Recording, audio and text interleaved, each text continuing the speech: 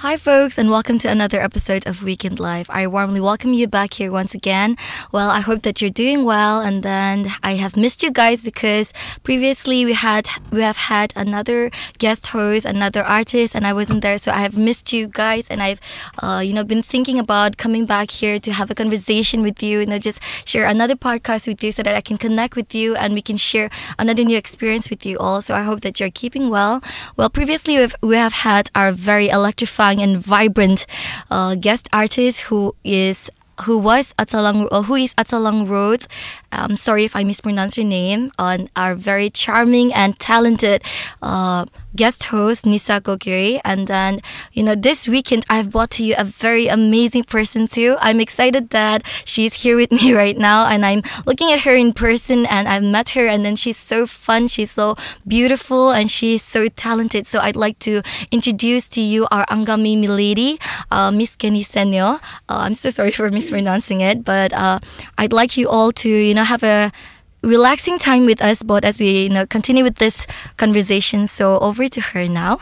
So Miss Kenny, hi. Hi. I hope that you're doing well. Thank you for having me. I thank you. It's our pleasure. It's our honor to have you with here with us. And despite of your busy schedule, you have found it in you to come here and then share this short time with us. So we'd like to really appreciate and thank you for that. So Miss Kenny, I'd like to, for you to introduce to the world out there, to our subscribers, to our followers and viewers out there, who you are and how you've started your journey. Okay, so I'll just introduce myself first. Surely. Um, my name is Keneisenuo Sorhie. Do I tell them how old I am? it's Maybe I okay. It's your wish. I'm 24. so I am still a college student doing my fourth semester in at Capital College, um, studying sociology, and um, how would I say this? um, I started singing in the year 2018. There was this competition in my um, village, Okay. so I was forced to like participate in it. So I don't know how how I won, but I just won, and then the journey started from there. And then the next j- step was YouTube. So it all started from there, 2018. Yeah. Okay. Well, 20 have been 2018 have been a very hectic year for you, I presume, and then a new journey. Uh, as you embarked on a new journey, I, I guess that you have been like getting lots of criticisms and also at the same time positive feedbacks. I mean, how has this experience uh, affected you in your trajectory of your uh, career in singing? So, like, how would you describe? How would you uh, say to the people out there, like, uh, the good things that came out of all the bad, of all the criticisms and all the positive feedbacks? okay, so for criticisms, I've been like what facing them ever since what forever. so um, I don't mind. Uh, you know, there will always be like negative and positive criticisms. So I don't really mind. But the thing which like gets to me the most is about my hair. so it was not.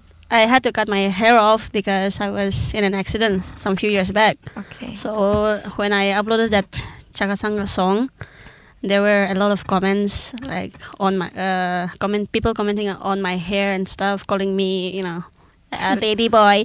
so um, I'm not a lesbian. I will never be one.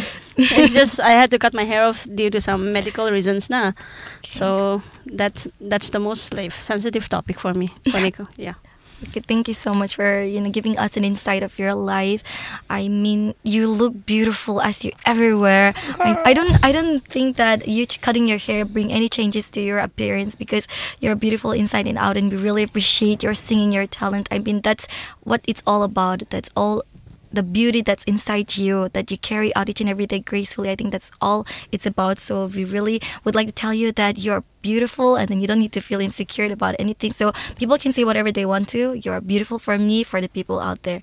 Um, so I'd like uh, also I'd also like to ask you like what do you do these days? Like I think that it has been more than three months after you release of that song. So what have you been up to these days? what uh, what do you do like in your daily life? Mm, I had a dog but she passed away. I'm so sorry. um, I like just during my leisure time, I make sure that you know she's clean and well fed, and you know to make sure that she's happy. She lived for 11 years, so most like with most of my like extra time that I get, I usually just take care of her, and yeah, she she's she died. So I don't know. I just stay home or go to college. That's all, and do some gigs in between. Okay, thank you so much. Um, I'd also like to ask you this before we jump into your song. Yeah. Uh, you said that you do gigs, right? So how do you manage your college life? Uh, you're a student, so how do you call it? Uh, manage your college life and then your music, uh, your professional career. So, uh, does it get like hectic for you? Is it troubling, or like do you just love doing it? How do you manage it? I mean, sometimes most of the gigs that I get, it is mostly in the evening. So, you know, I just have to like be specific and with my schedule and everything. And sometimes it it gets hectic during like November and this in a, December month. But other than that, I think I am a yeah really good at multitasking. Well, we're really glad that you are good at multitasking because due to your talent of multitasking, your multi-talent that you your talent into uh, overall, like you have gave us a life where we can you know uh, see you in the professional limelight and also see you carrying off with your studies. So I would like to really t- tell you, we'd like to tell you that we are so honored to have you here with us right now. So even though you had a busy schedule, you took out time for us, and then you're here, you know, portraying to the world your talent. So kudos to that. Um, Miss Keneisenuo, I have, you know, really admired your voice. I have been listening to your uh, songs for so like. I think the first time I heard your song was the Zoe Kaleo, Kileo, and then from after that I have uh, heard your songs, your YouTube, checked out your YouTube channels, your covers, and I have been admiring, and I really admire your voice. And right now, as we are all anticipating for you to sing, I'd like to take this time to give to you so that you can sing a song for us. So over to Miss Keneisenuo now.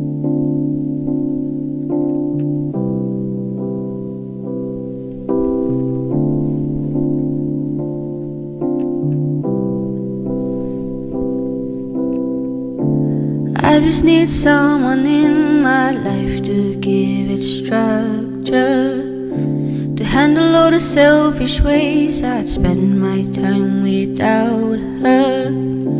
You're everything I want, but I can't deal with all your lovers. You're saying I'm the one, but it's your action that speaks louder. Giving me love when you are down and need another. I've gotta get away and let you go. I've gotta get over. But I love you so.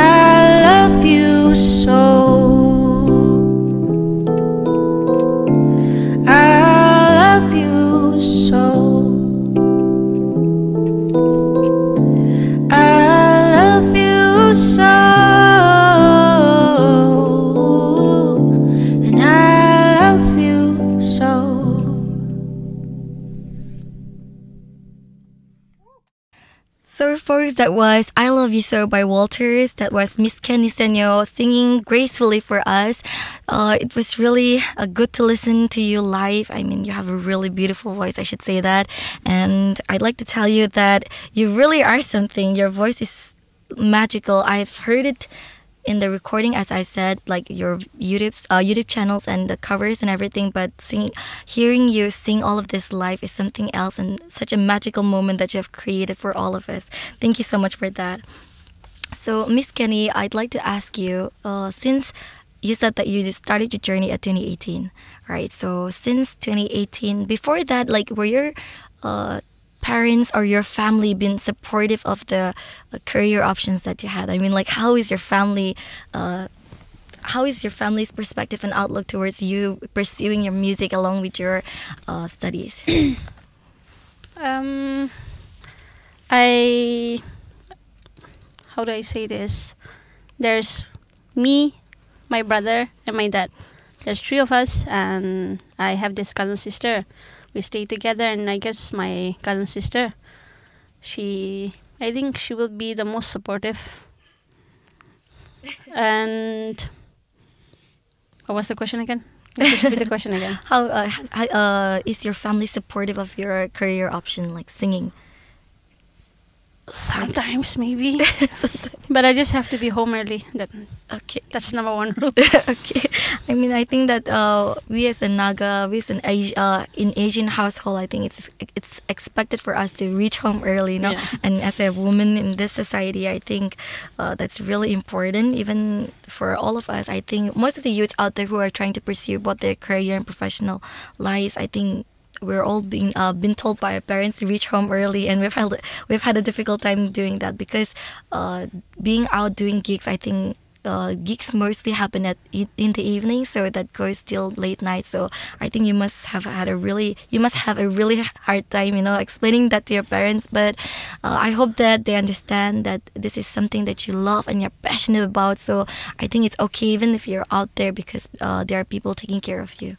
Uh, also, I'd like to ask you. Um, in, there are many things that you can do in the world, right? You can do cooking, you can do business and entrepreneurship. I think that there are lots of things that career options out there. But why did you choose music after that? After winning, I think you said that you won in the 2018 contest. So after winning, what did you think in particular that made you want to pursue just mu- music, not singing in particular, and not something else?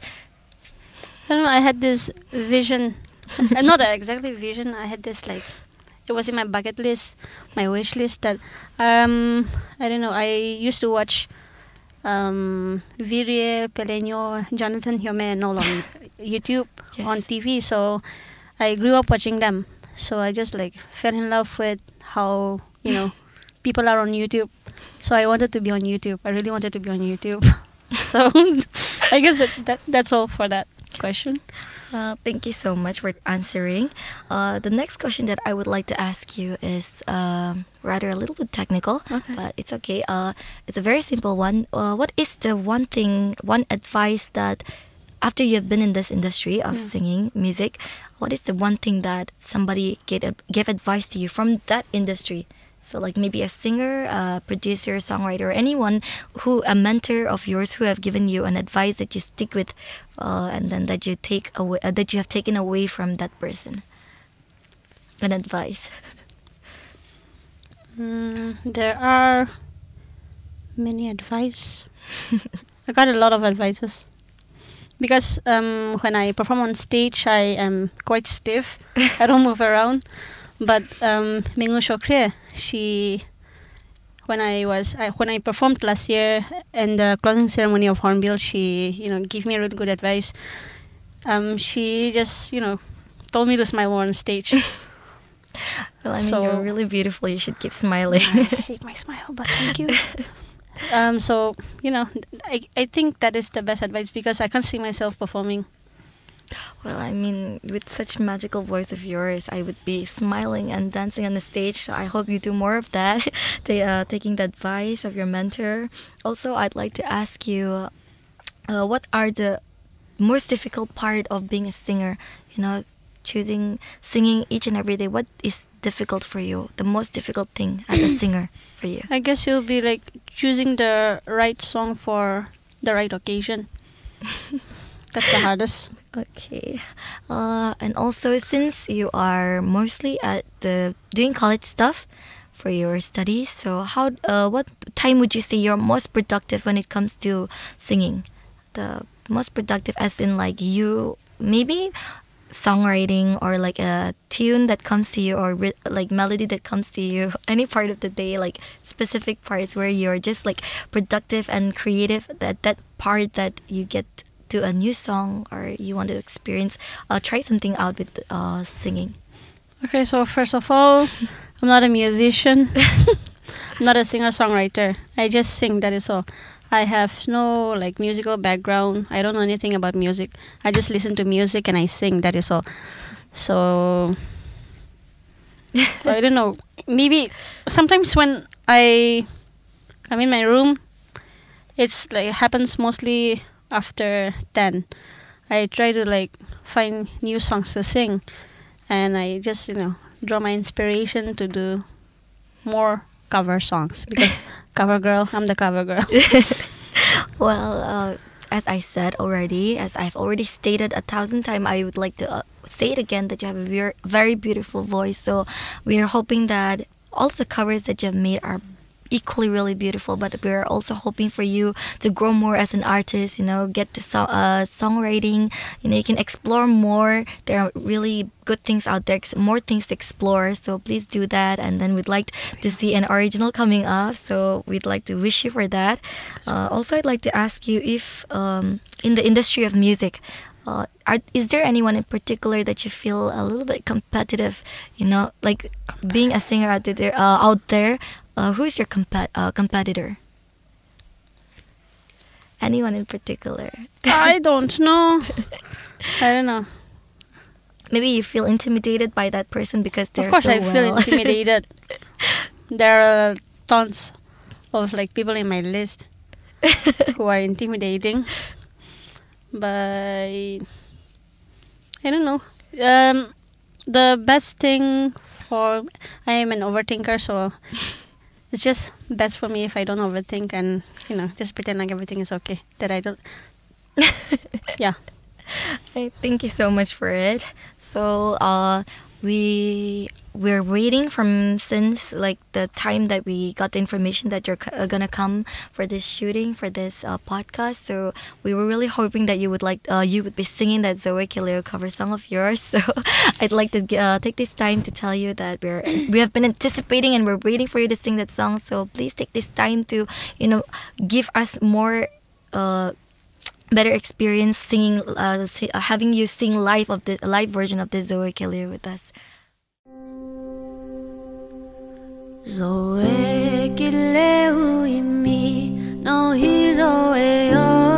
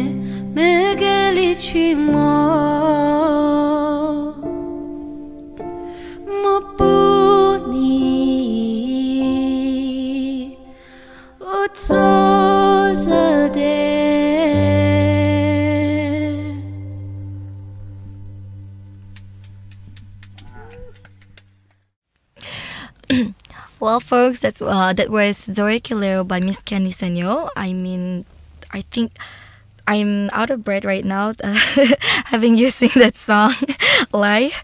Uh, I'd like to tell you that I have been I. I heard this song from my friend, a friend of mine, and she was playing this song for I think almost a week repeatedly, like from, uh, from when she would wake up and then till she goes to her bed, she listens to this song. Uh, and that's how I got uh, I got to know uh, this song of yours. Actually, I did not know that uh, you sing cover songs because I thought that uh, since you're really famous, so I thought that you do uh, originals. So I uh, I was going through and then I asked my friend about it and then she recommended this this song to me and I've been hooked to this song and it's very mesmerizing how you sing it live. You know, just you, you don't even need any kind of autotune in the world because your voice itself is in very beautiful. You don't need any autotune uh, whatsoever. Uh, so I, moving on to our conversation, I'd like to ask you the thing, uh, the one thing that uh, that I would like for my listeners uh, to take note of. Uh, what are the three song recommendation of yours? Uh, three songs that you love and you would love for our listeners to listen to and get hooked up with. Okay. Number one would be I will follow you into the dark. That is for by Death Cab for Cutie. And then number two is Don't Look Back in Anger by Oasis. And then number three would be Where I Stand by Mia Ray. Thank you so much, folks. You've heard her, so please do uh, go check out that song. Uh, I think I don't know the other two songs, but I have heard "Don't Look Back" by Oasis, and I've also heard the cover version of yours, which is really beautiful. So, uh, guys, please check it out. There are really beautiful songs. So, you know, uh, I'd like to take also take this time to ask you about uh, something that you would like to say to the people out there about the misconception of this music industry, how people would uh, how people portray music industry and what it is not. Uh, if you're getting my question, Just a misconception of bit. the industry, a misconception of the music industry. So like uh, maybe something that's not that's not there, but they think that it is there. Hmm.